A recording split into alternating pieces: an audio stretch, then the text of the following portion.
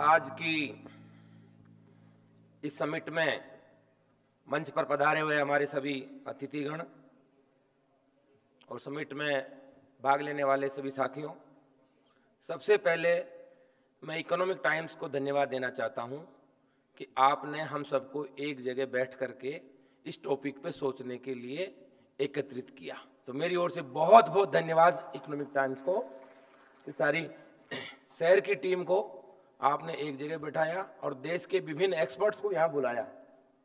केरला से हमारे साथी आए हैं, पुणे से हमारे साथी आए हैं। तो पूरे देश में अर्बन मोबिलिटी को लेकर के क्या नवाचार हो रहे हैं? किस तरीके से अर्बन मोबिलिटी को हैसल फ्री बनाया जाए? किस तरीके से हम अपने घर से ऑफ़िस जाने में जो घंटों व्यतीत करते हैं, वो समय कैसे कम किया जाए? ये सारी बातें आज इस समिट में हम करेंगे। मैं पूरा आपका ब्रोशर देख रहा था कि अर्बन मोबिलिटी के जितने डिपार्टमेंट हैं, वो सबको आपने यहाँ एक मंच पर एकत्रित किया और सब अपनी अपनी बात यहाँ शाम तक रखेंगे। मैं बेसिक बात करना चाहूँगा कि आदमी शहर में क्यों आता है? मोबिलिटी तो बाद में आएगी, पहले शहर में क्यों आता है? शहर में नौकरी करने आता है, व्यवसाय करने आता है और उसके बाद मजदूरी करने आता है। और ये तीनों ही लोग शहर में रहते हैं। तीन ही कैटेगरी में मैं बांट सकता हूँ। नौकरी पेशा के लोग ज़्यादातर, उसके बाद बिज़नेस के लोग मेजोरिटी में, और उसके बाद मजदूरी के लोग। और वो तीनों ही कैटेगरी के लोग, ज़रूर है कि अपने घर से बाहर जाना ही पड़ेगा। सबको घर से बाहर जाना पड़ता है, लेकिन शहर में, गाँव में तो फिर भी अपने गाँव में खेत पे काम करके, पैदल होकर के अपनी आजीविका वो पूरी कर लेता है, पूरी ज़िंदगी निकाल देता है। लेकिन शहर में ऐसा नहीं हो सकता कि वो अपने घर में बैठे बैठे अपनी आजीविका पूरी कर सके। तो शहर में अगर आया है तो उसको मोबिलिटी के ज़रिए अपने घर से बाहर जाना होगा। अब जब घर से बाहर जाने के रास्ते क्या हैं, तरीके क्या हैं, वो हमारी इस समिट का टॉपिक है। पहले अगर वो मजदूर है तो नज़दीक अगर उसका स्थान है तो पैदल जाएगा, जो कि संभव नहीं है आज के डेट में शहर में। दूसरा, वो साइकिल से जाएगा। अब आपने पता नहीं, देखा नहीं देखा, मैं गाँव से भी आता हूँ और शहर में भी अब रहने लग गया हूँ बीस पच्चीस साल से। जितनी भी शहर की ये मजदूर मंडी है, आपने देखा नहीं देखा, मैं करीब करीब महीने में एक दो बार देख लेता हूँ। तो वह जितने भी मजदूर एकत्रित होते हैं, आप कभी ध्यान रखना, वो अपनी साइकिल से आते हैं। तो छोटे वर्ग के लिए गरीब आदमी के लिए अर्बन में मोबिलिटी का पहला साधन क्या हुआ? साइकिल। अब ये विडम्बना है कि वो साइकिल चलाए कहाँ, जगह कहाँ, वो सारी चीज़ें हम इसमें डिस्कस करते हैं, लेकिन अर्बन मोबिलिटी का पहला साधन हुआ गरीब आदमी का साइकिल। उससे थोड़ा सा मीडियम क्लास में आया या थोड़ा सा उसने छोटा मोटा धंधा करके अपना पैसा कमाया तो साइकिल के बाद कहाँ जाता है वो? मोटरसाइकिल। Two wheeler. अब टू व्हीलर की अपनी समस्याएँ अपन इसमें देख रहे हैं, काफ़ी है। और जैसे ही वो टू व्हीलर पे आता है, उसके बाद उसको थोड़ी सी अगर आर्थिक हालात सुधरते हैं तो आ जाता है फोर व्हीलर चार पहिए की गाड़ी। घर में एक गाड़ी आती है, धनतेरस को आपने देखा होगा, कितनी जगह गाड़ियों के साथ फ़ोटो खींचते हैं, अखबारों में ऐड आते हैं, और उसके बाद हम सब परिवार में बड़ी खुशी मनती है कि हमारे घर में पहली बार साइकिल से मोटरसाइकिल मोटरसाइकिल से कार आई। और उसके बाद अगर इन चीज़ों का, जिसके पास नहीं है, वो कहाँ जाए? वो जाए पब्लिक ट्रांसपोर्ट पे। तो उसके लिए पहले हमारे जयपुर की बात करें तो एमडी साहब बैठे हैं, जयपुर बस सर्विस उसके बाद जयपुर अभी अपना बड़ा मेट्रो शहर हो गया तो जयपुर मेट्रो उसके बाद अर्बन मोबिलिटी में ही अगर पब्लिक ट्रांसपोर्ट की बात करें तो है वो प्राइवेट लेकिन पब्लिक के काम आ रही है सिटी बसेज जयपुर में सिटी बसेज आपने देखी, प्राइवेट सिटी बस।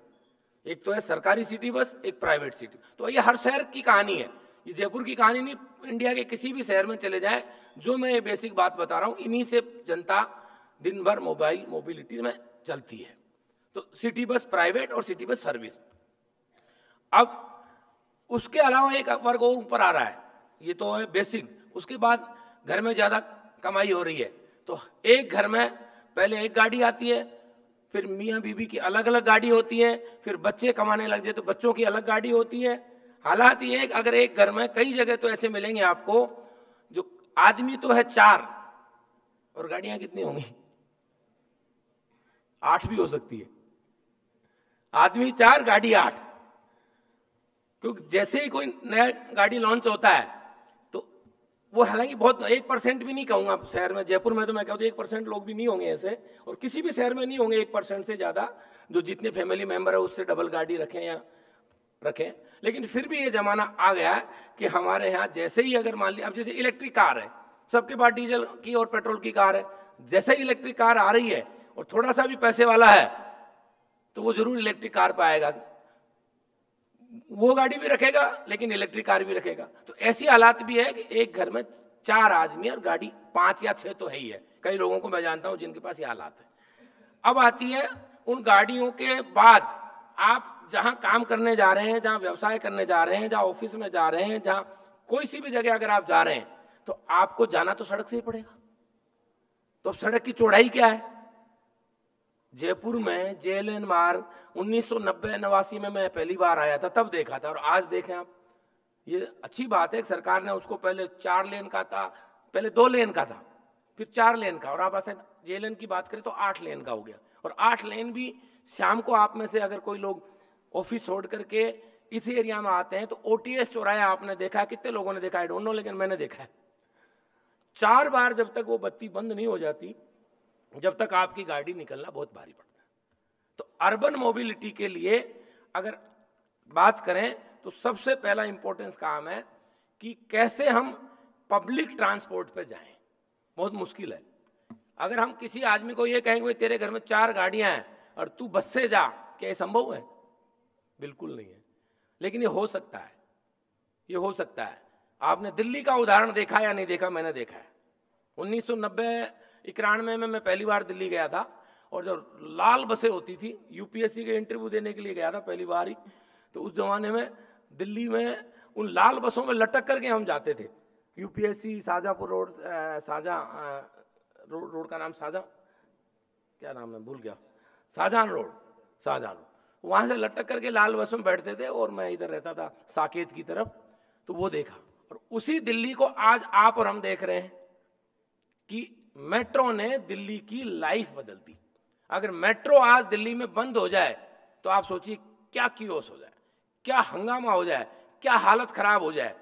तो जयपुर, सॉरी, दिल्ली को अगर आप अर्बन मोबिलिटी के उदाहरण में देखे जाए तो मेरे खुद के अनुभव से मैं मानता हूँ कि दिल्ली में मेट्रो आने के बाद जो पब्लिक को सहूलियत मिली है, जो आम आदमी को एक क्या नाम से राहत मिली है, वो सिर्फ़ और सिर्फ़ अर्बन मोबिलिटी से मिली है और वो भी पब्लिक ट्रांसपोर्ट से मिली है तो ये बड़े शहरों की एक महती आवश्यकता हो गई है कि किस तरीके से हम उसको पब्लिक को एक्सेस देवें।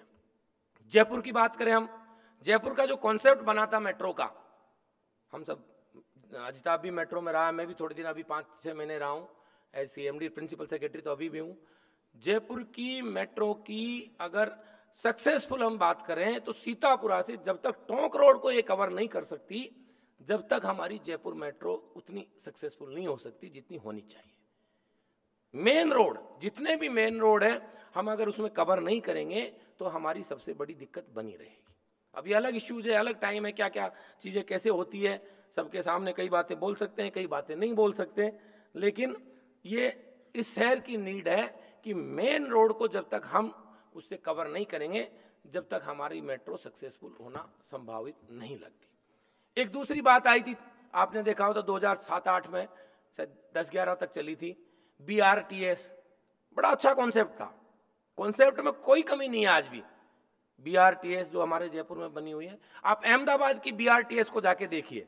शायद मैं पुणे गया नहीं हूँ, लेकिन पुणे में भी मैंने सुना है शायद बी आर टी एस आप बताएँगे कि बहुत अच्छा सक्सेसफुल मॉडल है।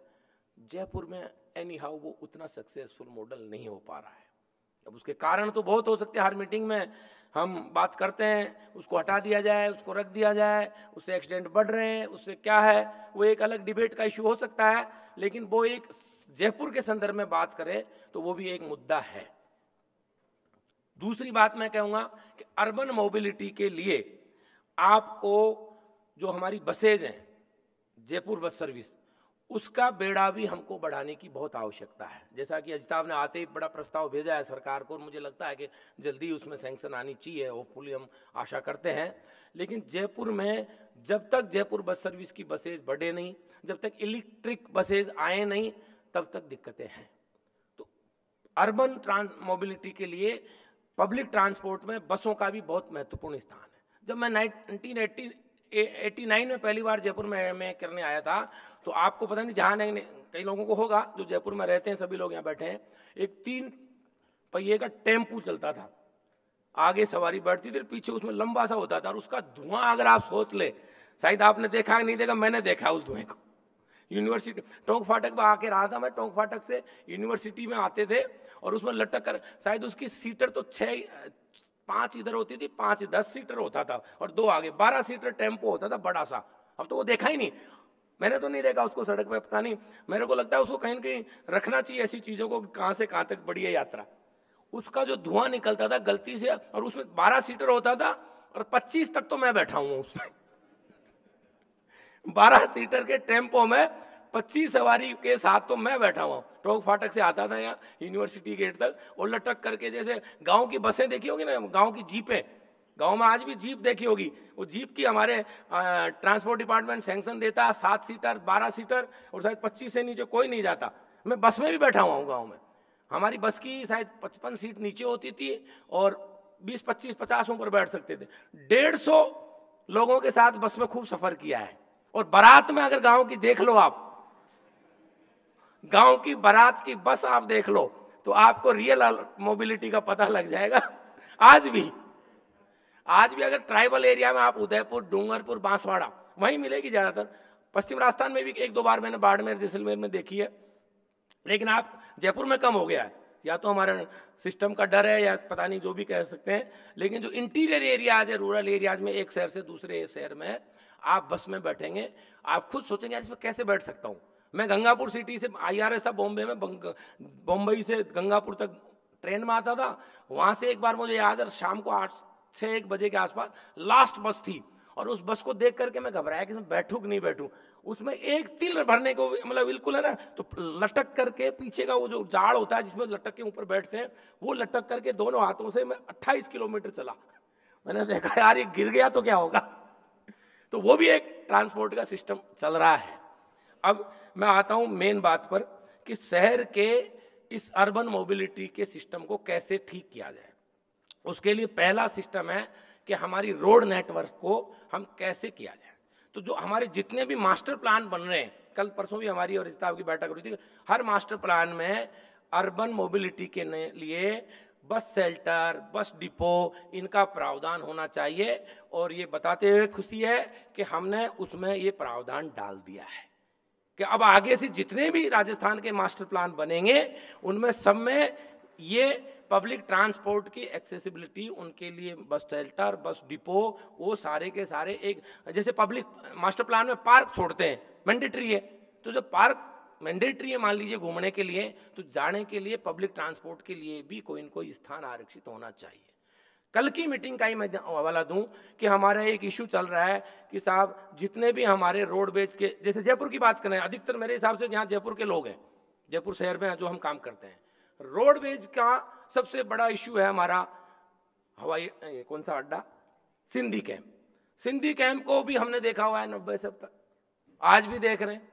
सिंधी कैंप की हर बार बातें चलती है कि चारों दिशाओं में या पाँचों छह मेन रोड से जयपुर की टोंक रोड है आगरा रोड है, दिल्ली रोड है, बीकानेर रोड है, अजमेर रोड है। ये शायद मेन रोड है, जो मैंने आपको पाँच रोड गिनाई है। इन पाँचों मेन रोड पर अगर अलग अलग जगह हमारे बस टर्मिनल हो तो उन बस टर्मिनल्स को हम चारों मतलब आगरा से आने वाला वहीं उतरे, टोंक से आने वाला टोंक रोड पर उतरे, और फिर टोंक रोड से अगर उसको दिल्ली जाना है, दिल्ली रोड पर जाना है, या अजमेर रोड से उसको Agra road, Delhi road, Tonk road जाना कहीं भी एक दूसरे को जाना है तो वहाँ हमारा सिटी बस चलना चाहिए। सिटी बस ऐसा होना चाहिए कि उसकी बिल्कुल जैसे ही वो वहाँ उतरा और वहाँ से सीधा दिल्ली के लिए हर दस मिनट में हर पाँच मिनट में उसको बसें मिले। तो ये कॉन्सेप्ट दो साल पहले बजट में घोषणा हुई है। हमने अभी तय कर लिया पा, सारी पाँचों दिशाओं में जो हमारे चार बस टर्मिनल बनेंगे वो शिफ्ट होंगे और उनके लिए भी जो इश्यूज़ हैं कि भाई उनको ज़मीन देनी है as a urban secretary JDA को मैंने बिल्कुल तय कर लिया है। और उन्होंने ज़मीन देखना भी शुरू किया है कि आने वाले एक महीने के दौरान वो जहाँ जहाँ भी जमीनें हैं, वो इनके लिए तुरंत जारी कर देगा। जैसे जयपुर की बस सर्विस के लिए बात करूँ मैं तो इनका यहाँ डिपो है आपके सांगानेर में। अब सांगानेर से वो इनका है, बस रोडवेज़ वालों का। इनको जगह चाहिए दूसरी तो इनको हमने कह दिया, शिवदासपुरा की तरफ़ आपको हम कहीं से भी ज़मीन दे देंगे। तो ये मैं मास्टर प्लान और प्लानिंग की बात कर रहा हूँ कि किसी भी शहर की अगर प्लानिंग करनी है तो आपको इन पब्लिक ट्रांसपोर्ट के लिए जगह आरक्षित रखनी पड़ेगी और उस जगह के बाद में उसका ईयर मार्क हो जाएगा कि ये जगह तो इसी काम आएगी तो वो आगे नहीं जा सकती। ये एक बात हुई।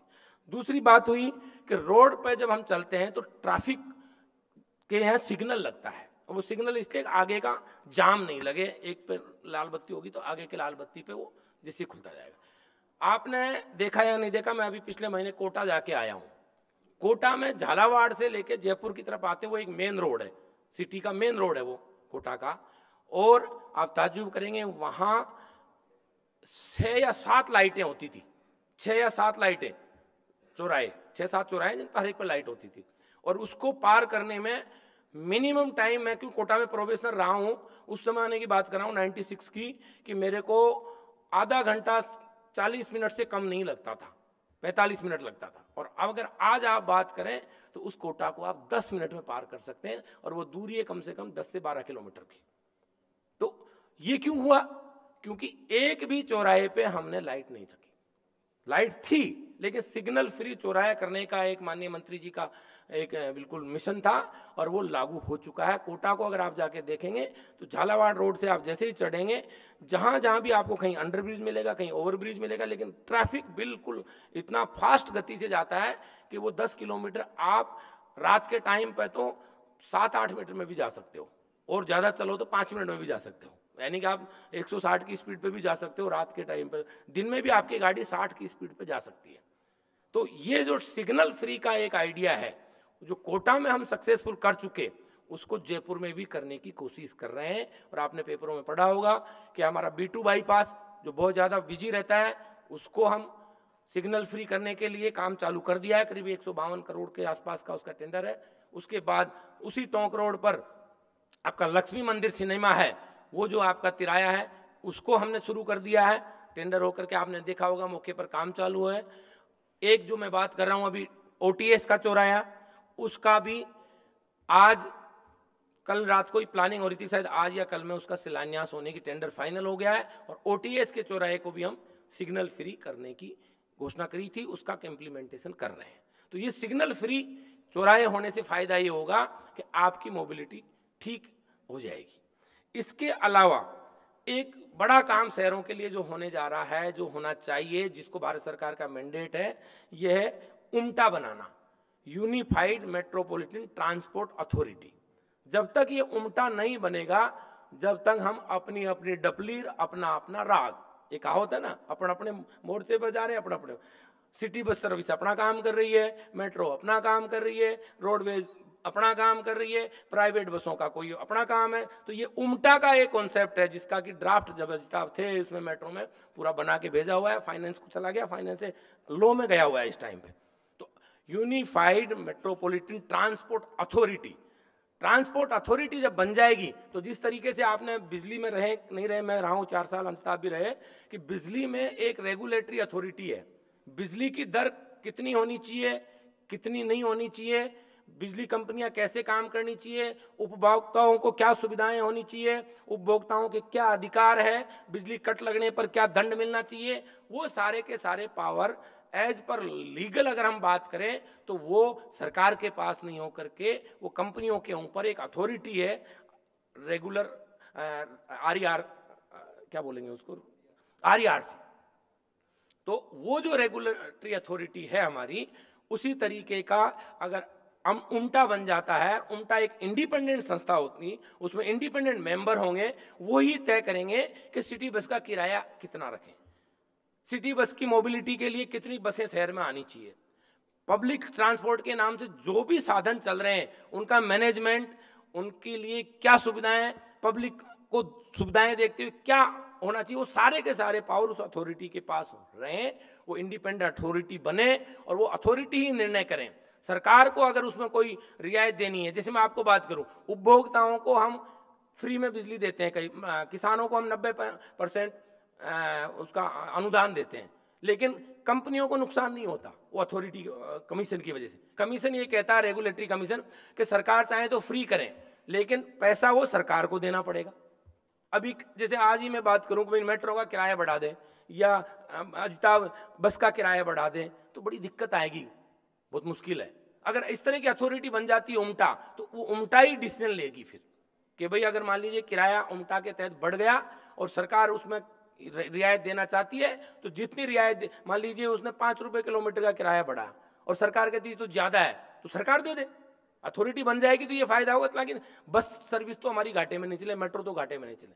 और एक घाटे की बात आ गई थी करूँ, कभी भी पब्लिक ट्रांसपोर्ट कमाने के लिए नहीं चलाया जाता।